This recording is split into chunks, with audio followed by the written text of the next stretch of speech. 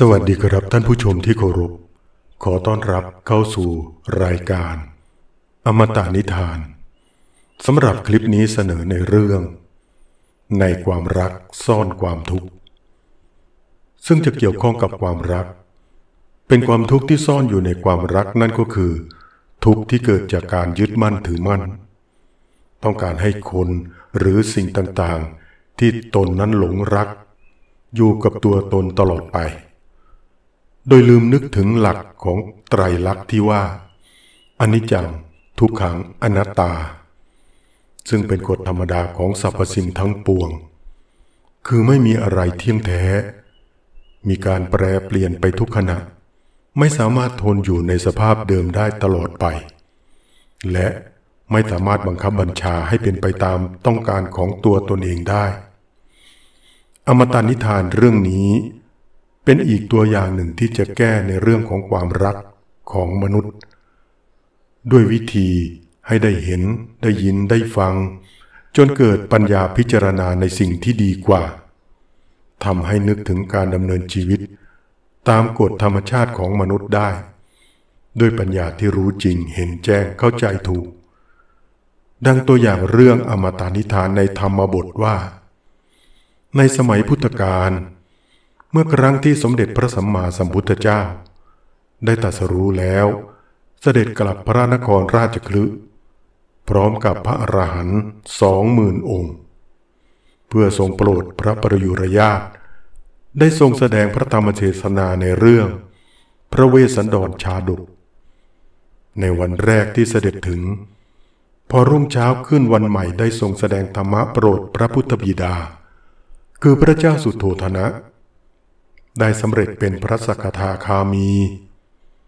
ในวันต่อมาก็ทรงโปรดอีก จนได้บรรลุเป็นพระอนาคามี ในวันที่สามโปรดให้นันทกุมาร ผู้เป็นพระอนุชาต่างพระมารดาของพระพุทธองค์ ซึ่งกำลังจะได้แต่งงานกับนางชนะปะทะกาลยานีในวันนั้น ให้ได้ออกบรรพชา นันทกุมารเมื่อ ได้บรรพชาแล้ว ก็ไม่เป็นอันเจริญและปฏิบัติธรรมะใด ๆ มัวแต่ระลึกถึงคู่ของตนที่อภิเษกสมรสนั้น พระพุทธองค์จึงพาเสด็จขึ้นไปที่สวรรค์ชั้นดาวดึง ในระหว่างทางที่เสด็จนั้น พระพุทธองค์ทรงบันดาลให้เห็นนางวานอนผู้มีหูด้วน จมูกด้วน หางด้วน มีขนเกรียน กำลังนั่งอยู่ที่บนต่อไม้ในป่าใหญ่ที่เกิดไฟไหม้แล้วแห่งหนึ่ง แล้วก็พาเสด็จขึ้นไปดูนางอัปสรของพระอินทร์แล้วตรัสถามว่า พวกนางอัปสรเหล่านี้ กับนางชนะปะทะกัลยานีนั้น ที่เป็นคู่อภิเษกสมรสของเธอ ใครจะสวยกว่ากัน พระนันทะได้กราบทูลว่า เทียบกันไม่ได้พระเจ้าค่ะ นางชนะปะทะกัลยานีนั้น เปรียบเสมือนนางวานอนหูด้วน จมูกด้วนหางด้วน มีขนเกรียนตัวนั้น พระพุทธองค์จึงตรัสว่า ถ้าอย่างนั้น เธอจะยินดียิ่งในการเจริญธรรมะและรับรอง จะให้ได้นางอัปสรเหล่านี้ พระนันทกราบทูลว่า ถ้าพระองค์ทรงรับรอง ข้าพระองค์ก็จะยินดีประพฤติพรหมจรรย์ต่อไป แล้วพระพุทธเจ้าได้พาเสด็จกลับลงมาจากสวรรค์ ในไม่ช้า พวกพระภิกษุทั้งหลาย ก็รู้ในเรื่องนี้จึงพากันเยาะเย้ยพระนันทะว่า เป็นลูกจ้างประพฤติพรหมจรรย์เพื่อให้ได้นางอัปสรบนสวรรค์ แล้วพากันเรียกพระนันทะว่า พระลูกจ้าง พระนันทะเกิดความละอายกระใจตนเอง จึงได้หลีกหนีออกจากหมู่คณะสงฆ์นั้น ไปอยู่ปฏิบัติเจริญธรรมะแต่ลำพังองค์เดียว ในไม่ช้าก็ได้สำเร็จเป็นพระอรหันต์พวกพระภิกษุทั้งหลายจึงทูลถามเรื่องนี้แด่สมเด็จพระสัมมาสัมพุทธเจ้าว่า ผู้มีอุปนิสัยแห่งพระอรหันต์อย่างนี้ เหตุใดจึงมีความกระสันพระเจ้าค่ะ พระพุทธองค์ทรงเล่าเรื่องนี้ในอดีตให้ภิกษุทั้งหลายได้ฟังว่า ในครั้งก่อนโน้น เราได้เกิดมาเป็นพ่อค้า ส่วนพระนันทะได้เกิดมาเป็นลาตัวผู้ เราได้เอาสินค้าบรรทุกบนหลังนายลานั้น เพื่อจะนำสินค้านั้นไปขายยังเมืองตักกศิลา อยู่มาวันหนึ่งนายลาตัวนั้น ได้เห็นนางชนะปะทะกัลยานีนี้ ซึ่งตอนนั้นได้เกิดมาเป็นนางลาเช่นเดียวกันในคราวนั้น แล้วก็เกิดความชอบติดอกติดใจไม่ยอมบรรทุกสินค้าแก่เรา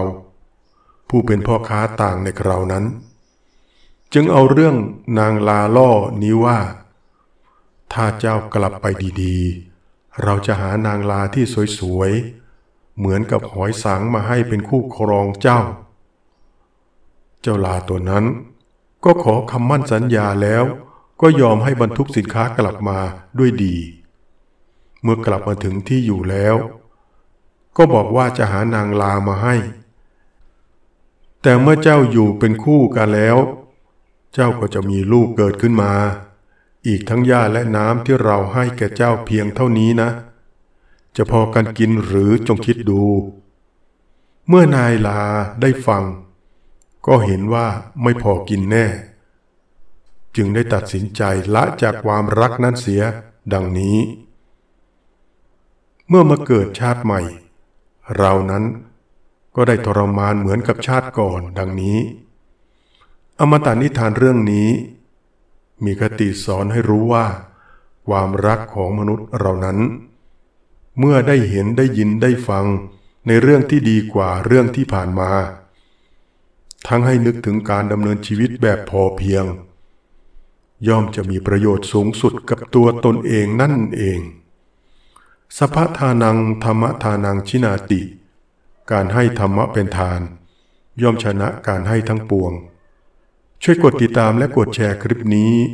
เพื่อให้ธรรมะเป็นทานด้วยได้บุญจากการให้ สาธุ เจริญในบุญขอบพระคุณสวัสดีครับ